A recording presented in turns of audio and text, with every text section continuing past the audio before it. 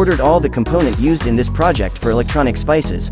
Best website for all electronic components. I have ordered BC547 transistor, LED, battery and some resistors. Link of website and components is given in description.